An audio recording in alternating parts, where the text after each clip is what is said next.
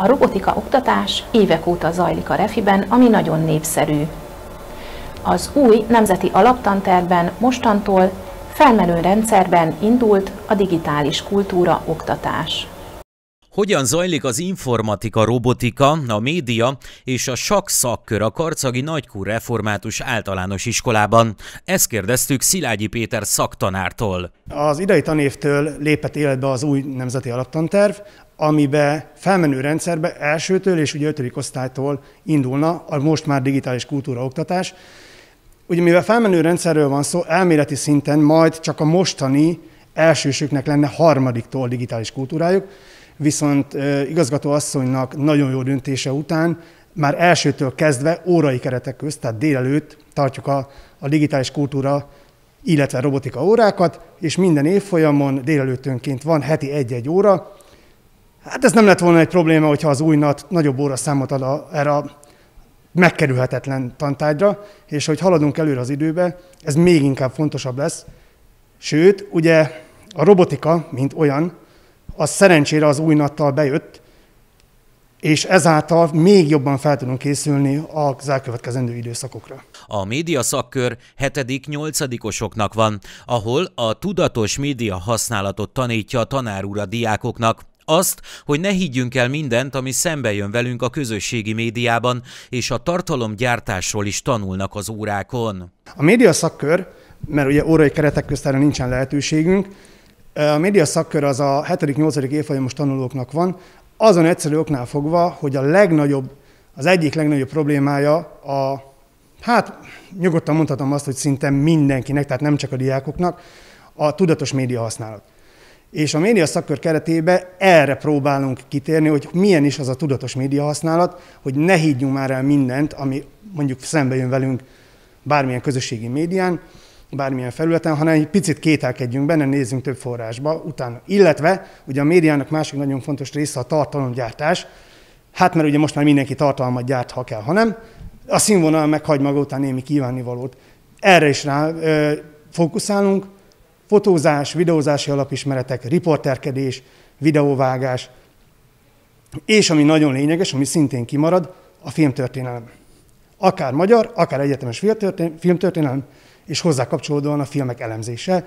Ez még a második fél évben vár ránk, de jó a társaság, úgyhogy szerintem ezzel se lesz probléma. Több, több veszély van. Az egyik, ami ugye külső veszélyforrása a gyerekek felé, hogy ugye osztunk megfelelően mindent, mert ami nincs a közösségi médiában, az nem létezik.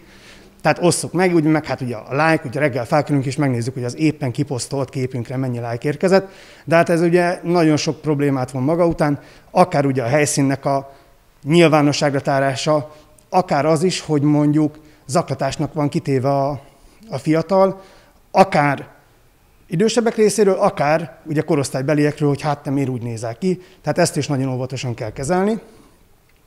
Illetve a, a másik probléma, hogy ami egyszer kikerült a, az internetre, az ott marad.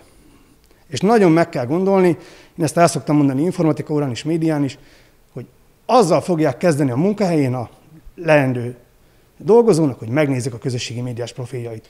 A robotika oktatás évek óta zajlik a Refiben, ami nagyon népszerű. Az új NAT-ban szerencsére most bekerült tantárgyként. Az iskola szakkörén a tanár úr 3D-s városmaket készítését is tervezi. A robotika oktatás a, az új NAT szerint hát még mindig kevés óraszámba van, de már szerencsére benne van.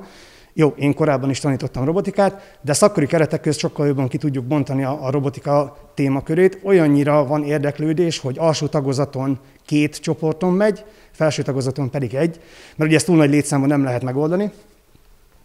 És akkor ugye megismerkedünk a Lego LV3 robottal, illetve a Lego Viduval, ez az alsó tagozaton, felső tagozaton pedig az LV3, illetve egy magasabb szint az Arduino rendszer, ahol már tényleg a gyerekeknek kell minden egyes vezetéket bekötni, szenzorokat bekötni, motorokat, illetve a mikrovezérlőre elkészíteni a programot, feltölteni, és akkor ott megnézzük a működését az adott készüléknek.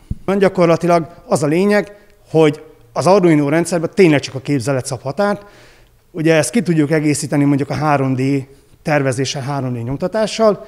Tehát ilyen projektek merültek fel bennünk, hogy mondjuk csináljunk egy városmakettet, ahol teljesen, tehát a, az elektronikát Arduino-val, tehát közvilágítás, távirányítós kapu, illetve mondjuk a kerítés 3D nyomtatóval elkészítve, házmakettek 3D nyomtatóval elkészítve, hát ez még előttünk van, de ami késik nem múlik. A második fél évben sok szakkör is indult a refiben, ehhez Szilágyi Péter 3D nyomtatással készített sok figurái adták az ötletet. A fenntartó és az iskola vezetés jóváhagyásával indult el a szakkör. 9-10 táblán megy a játék heti egy alkalommal, később versenyen is indulnak majd. Néztünk 3D tervezést a Tinkercad nevezetű oldalon, és én készítettem egy komplett sakfigura gyűjteményt 3D nyomtatással, és a gyerekek részéről jött az, hogy nem csinálunk egy sakszakört. Hát én ugye semmi jónak nem vagyok elrontója, egyeztettem igazgatóasszonynal, egyeztettünk a fenntartóval, és mindenki rugalmasan állt hozzá, tehát ettől a fél évtől, tehát a második fél évtől hozzá is kezdtünk a sakszakkörhöz. Ilyen általában 9-10 táblán megy a játék, szintén heti egy alkalommal, és tervezzük, hogy a későbbiek folyamán meg kellene méretni magunkat sakversenyeken is. Én bízok benne, nagyon-nagyon tehetséges diákjaink vannak.